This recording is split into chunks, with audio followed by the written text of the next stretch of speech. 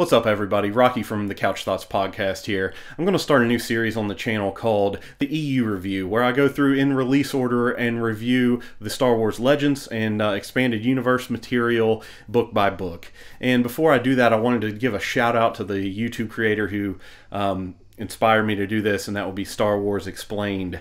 And if you don't know who Star Wars Explained is, I don't know how you found this video, but link in the description to Star Wars Explained channel. Go watch all of his stuff. Great YouTube uh, channel. But I just wanted to give, I'm a huge fan of Star Wars Explained, and I wanted to give him credit for this video, and I'm awaiting the rest of his EU material. He already has his review to Splinter of the Mind's Eye out for a while now. He hasn't had a chance to get to the rest of them, but in the meantime, uh, please accept this uh, poor imitation. Thanks. Written in 1978, Splinter of the Mind's Eye by Alan Dean Foster would become the first entry in what would become the Star Wars Expanded Universe, or Legends, after the Disney acquisition. What makes this book unique, however, is that it was released before the second theatrically released movie in the Star Wars franchise, The Empire Strikes Back.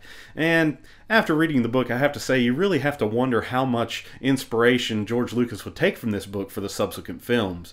This is readily apparent in the introduction that was written by the man himself. Lucas states, It hit bookstores just as I was preparing to write my own further adventure of Luke in the form of a script entitled The Empire Strikes Back. Now, that's not to say there aren't some pretty wacky things in this that would look ridiculous in the eyes of a modern Star Wars fan, but being that it's the first book in the EU and it was written before the original trilogy was even finished, that can kind of be expected. So let's see how this book pans out and see how it would go on to shape the rest of the books in the EU to come. So let's go ahead and get into the story of the Splinter of the Mind's Eye, and uh, just a warning spoilers ahead. So the story of Splinter of the Mind's Eye is fairly straightforward. It doesn't really take a lot of twists and turns. But Foster's writing style throughout is good enough to keep the reader engaged, especially given this is a fairly short book. The version I have is 297 pages, which if you compare to something today like, uh, you know, Game of Thrones, it's really not that long. Our story starts with Luke and Leia on a mission to gather rebel support from a planet called Circarpous. I think that's how it's pronounced at least but their trip is cut short when they crash land on a jungle planet called Mimban. R2 and 3PO are also along for the ride, but let's see. Crash landing on a dense jungle planet. Does that remind me of anything? Anyway, I was kind of expecting a much longer passage uh, in the book of being lost in the jungle, but Luke finds Leia fairly quickly, and they begin to look for civilization and find a little mining town. After gaining some disguises, they take refuge in a bar and attempt to hide their identity, but an old woman named Halla approaches them and sees right through Luke's disguise.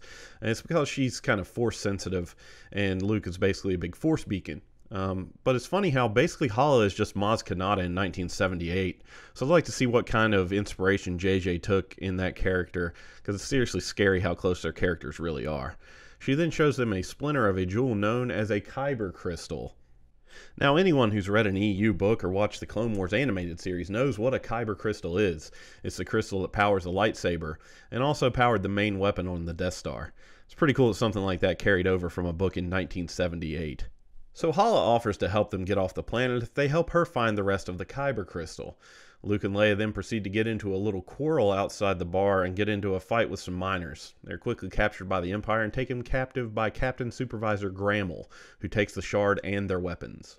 Grammel's a good enough villain for the story. He's just menacing enough and not too tough to where our characters can't outsmart him. I liked his character throughout, and like any good agent of the Empire, or really Jedi for that matter, his hubris was his downfall. Luke and Leia are in prison with two hairy creatures, kind of similar to Wookiees called Yuzzem. Their names are Hin and Kee. So of course Halla rescues them and they set out for the temple. During this trek to the temple, however, they encounter a giant worm-like creature called a Wandrella.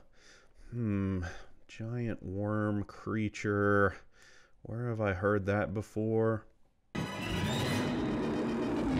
Luke and Leia get separated from the group again and end up hiding in some caves which contain a local species called Coway. The Coway have the others held prisoner, and Luke has to fight a Coway warrior in single combat to gain their freedom. Luke then senses Vader and the Empire approaching, and they have to team up with the Coway to fight them. So let's see. Species of lesser intelligence take some of our heroes hostage. They have to band together with their captors to defeat the Empire. Hmm, teddy bears. After this, the crew heads to the Kyber Crystal Temple and finds the titular Mind's Eye. They have to fight another monster, which Luke defeats by cutting down some pillars, but he's pinned in the process. Then Vader shows up, and to my surprise, Leia actually fights Vader with Luke's saber. Uh, she even has a little bit of success by cutting his mask, but in the end, she's defeated. Luke is freed by Hin and tries to fight Vader, but he's too wounded. But then Halla places the crystal in Luke's hand and he is miraculously healed. He defeats Vader, even chopping off his arm in the process. And clearly, that didn't make it into the Empire Strikes Back. This healing power of the Kyber crystal obviously doesn't fit in later canon, but hey, maybe that's how Plagueis the Wise cheated death? Do you ever hear the tragedy of Darth Plagueis the Wise? There are a few weird things that happen with Luke's saber in this book that doesn't really match up with later canon. For example, when Luke and Leia attempt to break into a store to steal some mining clothes, Luke turns down the power of his saber and makes a lockpick out of a thin energy beam. Also, later, he has to recharge the saber from a blaster. I think these are actually pretty cool ideas that add some variety to this story, but I'm glad this didn't make it into later canon. The lightsaber is already OP enough, and to be a lockpick too, I'm not sure. Plus, you could just go all Qui Gon Jinn on that bitch and melt the whole door. The Luke and Leia love story is another sticking point for me here. Obviously, Foster had no way of knowing they were brother and sister because I don't think even George Lucas himself knew that at the time, uh, especially for that scene in Empire. But looking back now, it seems out of place. They get a little too close at times. A couple of other interesting things here. Leia has PTSD from the Vader torture in the first movie and the subsequent explosion of Alderaan. This adds a very interesting layer to the character that wasn't really explored in the official canon until the Bloodlines novel. It's also neat that the Kyber crystal was red. In later canon, the crystals were mostly blue, green, and yellow. The only way a crystal could become red is for a Sith to bleed it with the blood of his enemies. Or the blood of his friends, for that matter. Could that mean this particular crystal was some sort of Sith relic? Obviously not given the time frame and when the book was written, but I like to think that's the reason. Finally, Darth Vader knew the codes that would shut down 3PO. It's really cool that this happens to fit with the prequel canon that Anakin built the droid years earlier. This is just a big coincidence, but it's fun to look at through a modern lens. Overall, given the year it was written, I can't really complain too much about the story contained within Splinter of the Mind's Eye.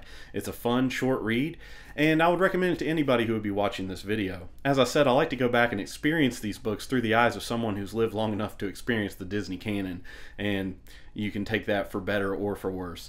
This one's especially interesting because you can really see the inspiration it had on future stories.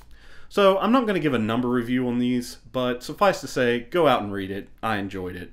And I really encourage everyone to read along with me as I go through these. The next one in release order will be Han Solo at Star's End. So guys, thanks for watching this video, and until the next one, later.